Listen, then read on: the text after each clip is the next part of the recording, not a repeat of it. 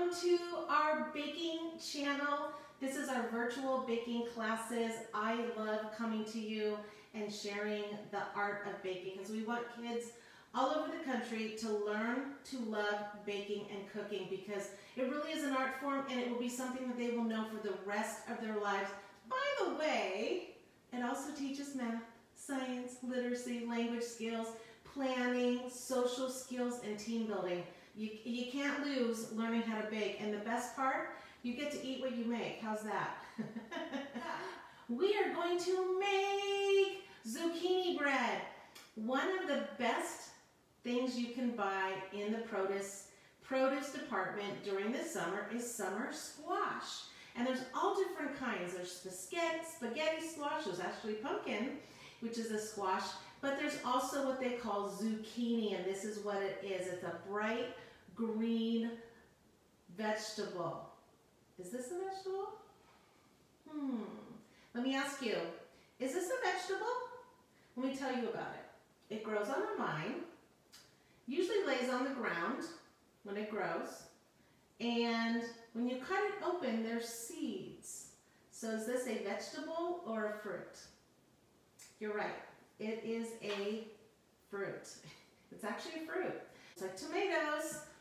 They seem like uh, vegetables because they're not sweet, but they're actually a fruit. So this is a zucchini. So first of all, we always do the take, make, bake, right? Take out your tools, take out your ingredients. The making is we're gonna make it and then we're gonna bake. So it's take, make, and bake. That's how we do it, okay? Hey, if you want to join the club, our baking kits, uh, we only have two more days to um, get our pool party baking kit. So go ahead and go to kidsbakingclub.com and get our pool party baking kit. All right, you guys ready to get started? Now, you know, I was talking about these bowl methods. Like there's one bowl method, two bowl methods. It's pretty rare, but this recipe calls for three bowls. So you do need three bowls. What does that mean? More dishes. But hey, we love to do dishes. I actually love doing dishes.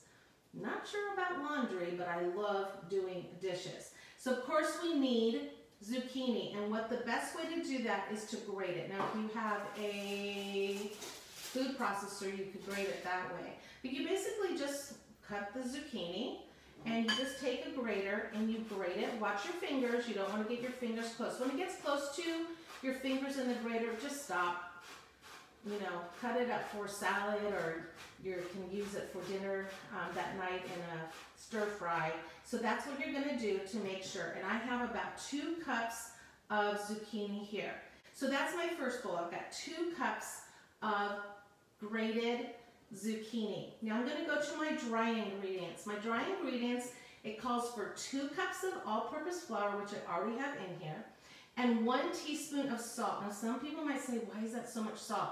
Because normally you, in a recipe you add butter, and usually butter has salt in it. So since we're not using butter, we're gonna add salt into it because it just kind of takes out it being so sweet, so you add a little bit of salt. We're going to add one teaspoon of baking soda, which is our leaven, and we're adding another leaven, baking powder. And the reason why there's so much leaven as this because the zucchini is heavy and we want to make sure it rises in the oven. Then also calls for one teaspoon of cinnamon. I've already ground that. I didn't ground it. Did I say I grounded it? I did not ground this. It came that way. And then you're going to add a half a teaspoon of some other spice or you don't have to. So usually you can do allspice or nutmeg or ginger, but I'm using, because it's almost fall, I'm using a half a teaspoon of what's called pumpkin pie spice. It has all kinds of yummy stuff. And we're going to mix that. We want to make sure all the dry ingredients are mixed really, really well. We are going to go to our, you probably can guess, we have our zucchini, we have our dry ingredients. What goes next? Our wet ingredients or our liquid ingredients. So the first we're going to do is we're going to use two eggs. I'm using brown eggs today. I like to buy the brown eggs that has the omega-3 in it. Go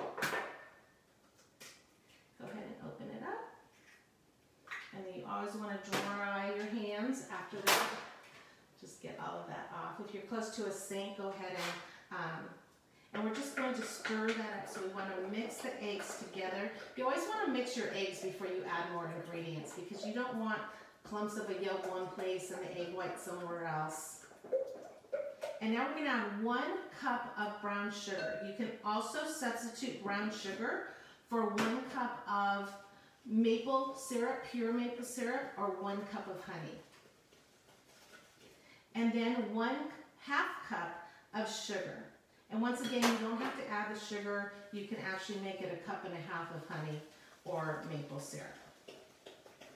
Now, instead of adding one entire cup of oil, which would make it super moist because oil does make your baked goods really moist, we're going to add a half a cup of applesauce. Now, there's ways you can buy applesauce either sweetened or unsweetened.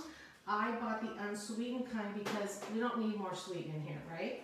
But we love the apple. What the apple sauce is going to do is it's going to moisten the batter when it's baking. But we are going to add one half cup of oil. You can use vegetable oil, canola oil. You could even add avocado oil, which would be really cool because you're already using a fruit in here, so it's just adding one more. Now one thing that's optional, you can add a teaspoon of vanilla if you want. If you don't want to, that's fine too. I love the smell of vanilla, so I am adding it. Now while I'm stirring this, we're gonna do an add-in. Now I'm gonna add in 3 fourths cup of chocolate chips, but you can also add in 3 fourths cups of chopped nuts, like walnuts or pecans or almonds. I actually am a little to walnuts, so I am not going to use that. I'm going to add the chocolate chips instead. Okay, now that we have all this, guess what? Now we get to combine it all together. So I'm going to add my flour. I'm going to stir that a little bit. Now because it's a bread, I don't want to mix it too much. I don't want it airy. I want it nice and moist and dense. And so we don't want to break down the gluten that is in the flour. But hey, if you're using gluten-free flour, go ahead. So now that it's just a little bit moistened, I'm going to add my two cups of zucchini. Oh my goodness. Now this is the time you want to turn on your oven Go ahead and turn it on to 350 degrees Fahrenheit. Add my 3 fourths cup of chocolate chips. Just to add a little bit. You know, breads, these are called quick breads because there's no yeast in them. They make the most amazing gifts. If you know someone that would just love to get a loaf of bread or some zucchini muffins, this is the perfect recipe you know, put it on their doorstep and surprise them. Now I'm going to take a loaf pan. This is my um, tried and true loaf pan. You can tell I've had it for a very long time, but it's part of a stone, so it bakes evenly. It's really good. And I put some parchment paper in here, but you can actually just oil it yourself. And now we're going to pour this in. Oh, are you kidding me? This looks amazing. If you could smell this, it smells so good. Now, if you're doing muffins, use either cupcake liners or oil the inside cavity of the cupcake muffin tin and then you're going to bake it for about 15 minutes to 20 minutes. You'll see it to start to rise. But if it's a bread, you're going to put this in the oven for one hour. I know, but it's got to bake through. Thank you for joining me. We will see you next time. All right, bye-bye.